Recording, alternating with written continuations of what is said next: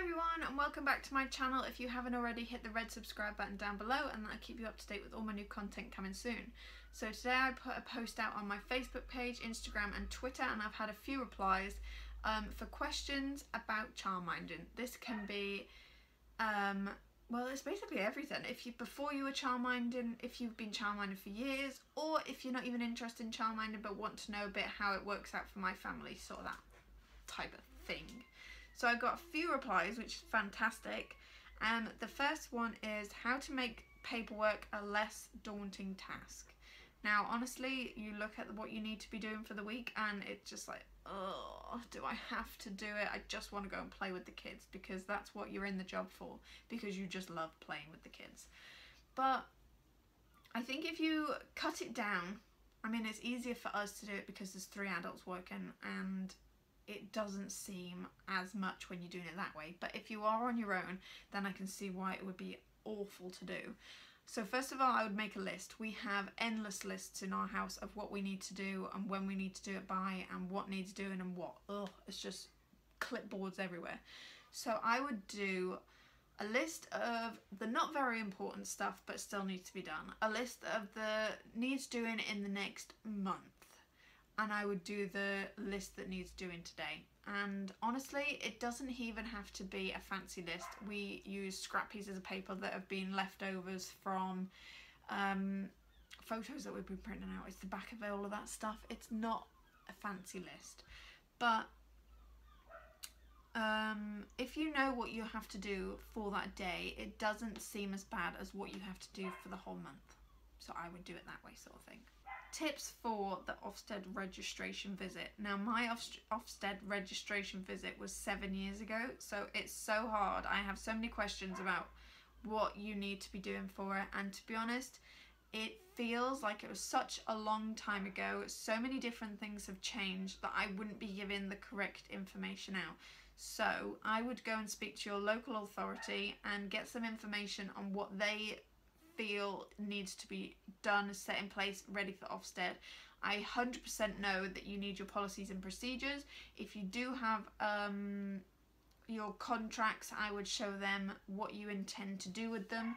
I would also um, maybe start making a learning diary so you can show them how you feel a learning diary will be set out in your setting and what you can include in it. So um, insert your trackers, insert um, your observation papers ready.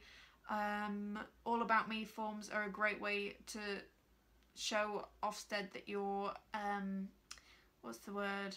I can't think what the word is, but showing Ofsted that you are getting to know the child before they've even arrived, um, which helps him with the settling in period.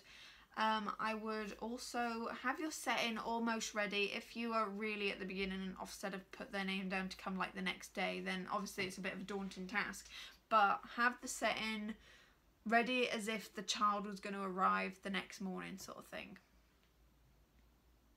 But definitely contact the local authority because they have the list of everything that you really really need. Do we need to do the food hygiene course? Now as far as i'm aware the answer is yes because you are dealing with food you are dealing with the child's lunch. You might not be cooking it but you are um, having it stored in your house until lunchtime and then you're serving it to the child as well. So I would say yes, you need the food hygiene. And at the end of the day, it's such a quick course. It just is an internet based one. Um, they send, well, they sent all the stuff to us through email. So I'm not sure if they do that anymore, if it might be in the post for the certificate. But anyway, um, I would sign up to that and just have your back covered. There's just no, no other way of saying it really. Is it difficult to do my own accounts? Should I hire an accountant? No. Honestly, it is so simple. When I'm going to be doing a tax review a tax review video. I'm going to be doing a tax video soon of how we set it up and what we do throughout the year for our taxes. So it's going to be super simple, super easy, and you're going to be able to follow that. Um, but I would say when you get your head around it, we have never had an accountant. As long as you are keeping receipts, as long as you are keeping up to date and as long as you are keeping the bills from the parents, then there is nothing that you should be worried about because you have all the information there. It's just about setting it out the right way and making it easy for you. should I charge when we go on holiday, when the family goes on holiday? So ours are in the middle of changing at the moment. We used to do, if the parent was going on holiday, it would be half price um, for however long they wanted, but it was a maximum of four weeks. So if the child was here two days a week, they could have the two days four times at half price, which we seemed fair and it was fantastic. But now that the 30 hours are coming in, we are dropping our um, we're dropping the rate that we're gaining from the funding. We are at the point where we need to be thinking what is right for us, how are we going to be, you know, keeping on top of all of our mortgages and things like that. So we are changing ours to the parents are still going to have to pay throughout the holiday. We are open all year round and if they want um, holiday or sickness, then they're still going to have to pay because it's the only way that we are going to be able to stay open. Also, I would say when you go on holiday, I would give them it for free because it's, well, you're giving them a service and you're not there for the service sort of thing. But again, it's totally up to you if you want to charge them half price for your holidays. But then again, I would say how many times a year are you allowed to do the holiday? Because if then all of a sudden you're going half price for, for months and months and months, I don't think that would be fair for the parents. But talk it through with them, talk it through with family, get some advice from them maybe. But yeah, ours are free if we go on holiday.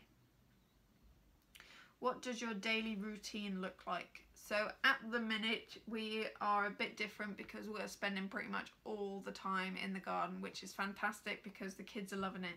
So the children will arrive and we will do breakfast for the couple that are starting really, really early. The ones that have had breakfast at home are able to do free play with all the toys behind us. When everybody's in, we will go and lock the back gate and then we can go on the decking or in the playroom. They will have free play again until we, probably about half ten when we then go and have our morning snack, which is um, fruit, crisps, or crackers, or anything like that. Rice cake, rice cakes, rice crackers, rice cakes. I don't know what they are now. My mind's gone blank. What are they? Are they rice crackers? Rice crackers just doesn't sound right. Um, after that, it will be nappies and bums, but obviously if they pooed throughout the day, then it gets done straight away. then it will be um, starting to do our sitting down activities, the ones that are to do with our monthly planning, will be getting done after snack time. Um, then it will be sort of the observation side of things. So if a child is needing an observation in their learning diaries, we will obviously have a bit more attention on that child. But obviously there's three of us working in the setting, so all the other children are still involved and getting activities and whatever they want to play with. Anyway, I'm getting sidetracked. Um, so that will be up until about half 11, 12ish. Then it will be lunchtime. Then it'll be sleeping time for the little ones. It would be either in the pram on the way back from um, a play group if we're going out anywhere, in the car if we're going out anywhere because they'd be knackered, um, or we just put them in a pram and they get wheeled into our kitchen which is an open hatch which we can see them completely the whole time that they are asleep. So that is brilliant. Then it will be coming up to about one o'clock two-ish. Be snack time again. Then it'll be free play until the afternoon when all the children start to go home. So honestly they get free rein of the place. It's garden decking or playroom and they just go anywhere and crazy Obviously the toys that are on the top shelf we have to do sitting down with them because they are a bit messy like the painting and things like that. We don't have that as a free play area but we do have the drawing and um, the crayons, the stories, um, what else do we have that's a bit messy that's free play? The music, loads of things that are free play but the ones that are like Play-Doh and the ones that are painting and anything like that is a sit down activity that we like to do. Then at around three o'clock we have quite a few that leave and then it's free play until the four o'clockers leave as well. I've been childminding for five years but the last year I have only done wraparound care for over fives. I've lost my confidence with under fives. What would you recommend I do to start planning? Um, well, I wouldn't say completely write it off because under fives are super fun to play with. There's a lot of paperwork by the side of them, but I would say how to get your confidence back. Take it step by step. It doesn't have to be you're diving in and having like three under five straight away. Just do it one at a time.